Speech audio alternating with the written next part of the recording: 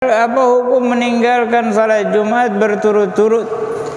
Meninggalkan Jumat sekali dengan sengaja tanpa uzur itu haram, dosa besar.